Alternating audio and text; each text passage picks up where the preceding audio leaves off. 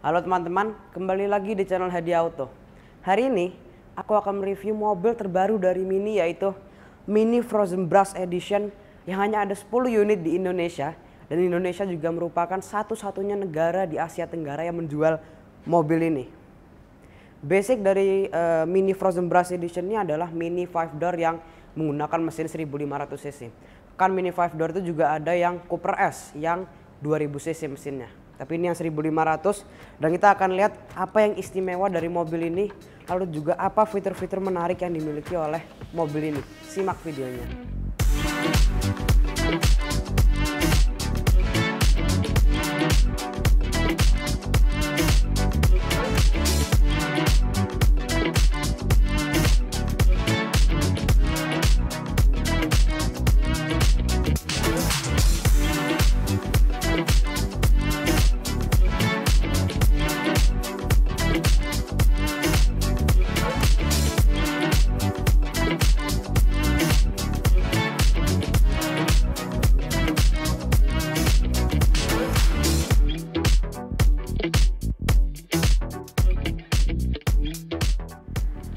Seperti biasa, sebelum aku start, ada satu pesan yang ingin aku sampaikan yang semoga bermanfaat untuk kita semua.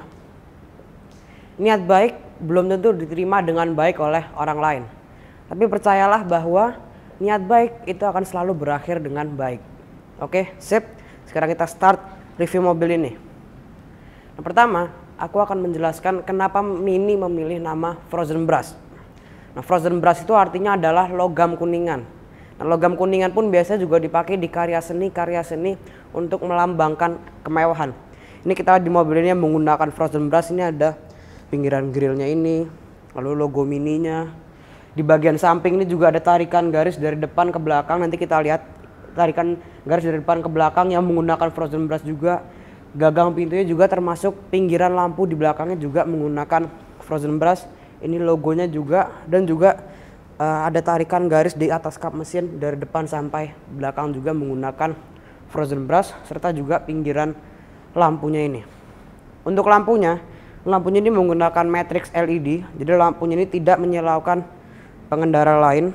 Lampunya LED, ini juga uh, eh, DRL-nya sudah LED dan ini bisa dibilang lampu yang melingkari lampu utamanya ini two in one, jadi DRL plus lampu indikator juga. Lalu juga fog lamp sudah LED. Sama juga ada bumper di bagian bawah yang membuat mobilnya kelihatan lebih sporty. Nah, untuk bagian sampingnya Nah, untuk bagian sampingnya kita lihat dulu dari velgnya. Velgnya ini 17 inci Cosmos Spoke yang warna hitam seperti ini yang membuat uh, mobil juga kelihatan lebih sporty. Lalu juga ban ini sudah run flat tire dilengkapi juga dengan run flat indicator jadi kita bisa melihat tekanan ban di, da, tekanan dari masing-masing ban dari instrumen di dalam. Lalu juga di sini ada lampu indikator dan ini juga tadi aku bilang tarikan garis frozen brush dari depan sini sampai belakang situ. Termasuk juga ini gagang pintunya menggunakan frozen brush. Untuk spionnya dan atapnya ini warnanya jet black. Untuk warna body di bagian bawah ini Nah, ini warna yang spesial, catnya khusus dari Mini yaitu Mini Yours Enigmatic Black namanya. Jadi itu bukan warna hitam biasa, tapi ini warna hitam yang agak kebiru-biruan juga. Lalu juga mobil ini dilengkapi dengan comfort access. Jadi kita dilengkapi dengan keyless entry di sebelah kanan sama di sebelah kiri. Sama juga ada emblem Frozen Brush di sini di kanan ada sama di kiri juga ada. Keren mobilnya. Nah, sebelum kita lihat ke bagian belakangnya, kita lihat dulu mesinnya.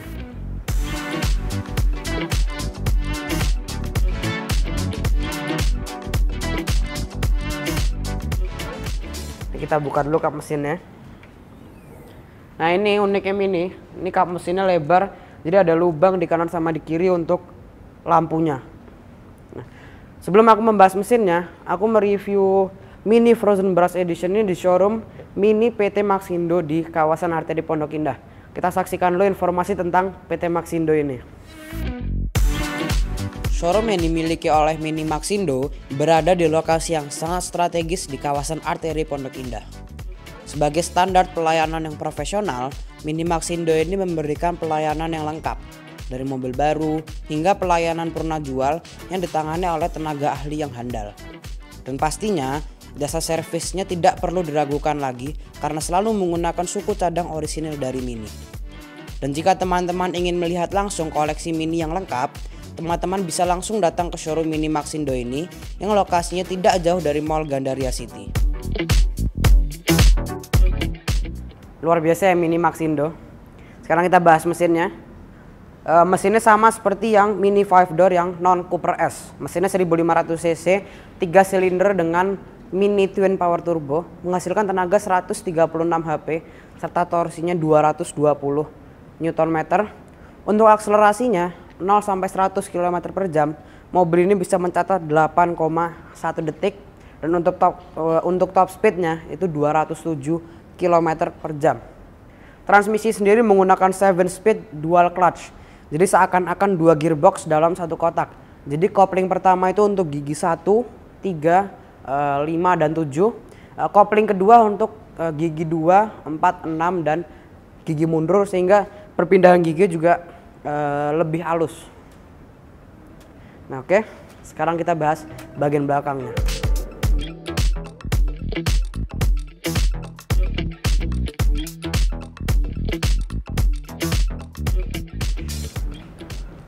Untuk bagian belakangnya, ini yang pertama menarik perhatianku adalah lampunya ini. Ini lampunya ini semacam bendera Inggris dibagi dua, jadi kanan satu, kiri satu. Lalu juga ada logo Mini yang menggunakan frozen brush juga, sama juga ada logo Cooper. Sama knalpotnya cuma satu.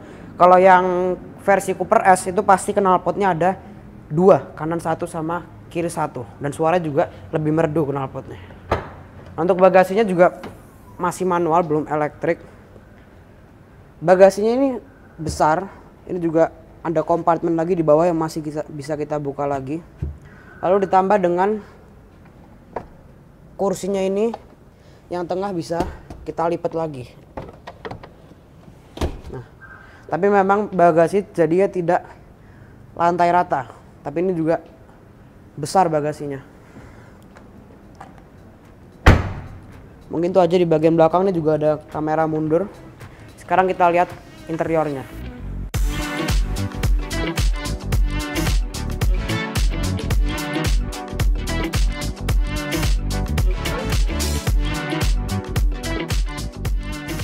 Bagian belakangnya ini posisi duduknya menurutku ini enak banget posisi duduknya. Cerdasnya ini itu adalah ini. Jadi ini kursinya bagian belakang ini buat dibuat agak cekung supaya juga bisa memberi legroom yang lebih besar nih walaupun Nah, sisa legroom ini kan tinggiku 175 cm. Ini sisa legroomnya tidak terlalu banyak. Headroomnya juga lumayan banyak kalau headroomnya. Lalu juga ini kalau tidak terlalu tinggi di tengah ini mungkin lebih enak posisinya. Tapi ini kelihatannya memang untuk dua orang di bagian belakang ini. Kalau misalnya untuk tiga orang paling yang di bagian tengah nih anak-anak. Karena ini yang di uh, tengahnya ini agak tinggi. Ini juga ada cup holder di sini sama juga ada ambient light ini di gagang pintunya eh di untuk membuka pintu ini sama juga ada di pocket di samping sini ini juga agak unik ini untuk membuka pintunya keren banget mungkin itu aja di bagian belakang sama ada lampu yang masih belum LED lampu bacar depan. Mungkin itu aja sekarang kita lihat bagian depannya.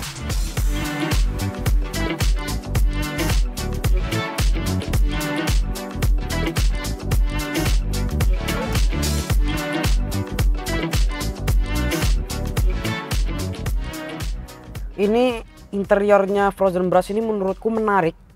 Menarik banget interiornya lalu juga posisi berkendara ini uh luar biasa enaknya. Ditambah lagi sama alat untuk nyangga kaki ini. Lebih enak lagi. Biar lebih enak reviewnya ini. Aku nyalain dulu mesinnya. Suara knalpotnya juga merdu mobilnya. Oke. Tadi aku bilang ini posisi berkendara sangat nyaman. Lalu juga setir bisa diatur tilt.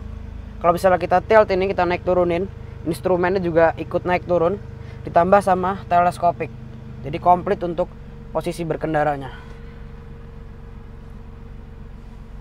Lalu instrumen instrumennya ini full digital speedometer dan takometernya. Digital ini juga ada untuk jam ada untuk range bahan bakar. Lalu tengah ini ada head unit. Head unitnya lengkap ditambah lagi dengan Apple CarPlay yang koneksinya sudah wireless AC sudah dual zone juga. Kanan sendiri suhunya jadi kita bisa atur kanan sendiri sama kiri sendiri. Lalu di bawah ini eh, ini juga AC sudah dilengkapi dengan climate control juga. Lalu di bawah ini ada pengaturan untuk mode berkendara ada sport ada green. Ini green uh, atau eco lah. Traction control ini untuk nyalakan mesinnya sama ada auto start stop. Di bawahnya juga ada dua cup holder ini ada dua colokan USB sama ada colokan 12 volt. Transmisinya ini agak mirip-mirip sama di BMW cuman uh, dibuat lebih tinggi tuasnya. Sama ini ada untuk uh, pengaturan ke head unitnya ini uh, kurang lebih sama seperti mini lainnya untuk pengaturannya. Sama ini juga ada kom oh ini untuk uh, meletakkan handphone kita. Sama ini bisa dianggap juga sebagai armrest jadi bisa kita angkat. Nah ini kompartemennya di sini kompartemennya tidak terlalu besar kompartemennya dilengkapi juga sama lampu. Sama di sini juga ada emblem frozen brush nah, uniknya ini adalah di tengah ini ini semacam ada takometer yang digital. Jadi kalau kita gas ini juga akan naik. Itu itu keren itu itu keren banget. Nah di setirnya ini ada tombol untuk cruise control. Di sebelah kanan ada untuk voice command, untuk volume, ganti track dan untuk telepon. Di atas sini ada lampu untuk pengaturan lampu. Wah, ini enak banget posisi berkendaranya. Nah, uniknya gagang pintunya juga langsung jadi satu sama untuk uh, door locknya. Jadi tergabung jadi satu sama ada ambient light di dalamnya. Sama di pocket di pintu ini juga ada ambient light sama juga ada door pocket di kanan sama di kiri.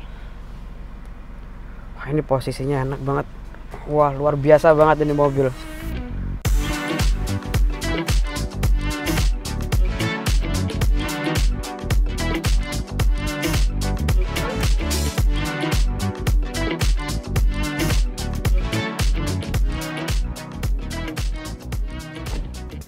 Emang luar biasa nih mobil untuk harganya uh, mini uh, frozen brush ini off the road harganya 690 juta rupiah. Luar biasa ini mobil. Oke teman-teman, terima kasih telah menonton videoku. Jangan lupa di like, share, komen, dan subscribe. Dan nantikan video-video berikutnya. Sampai jumpa.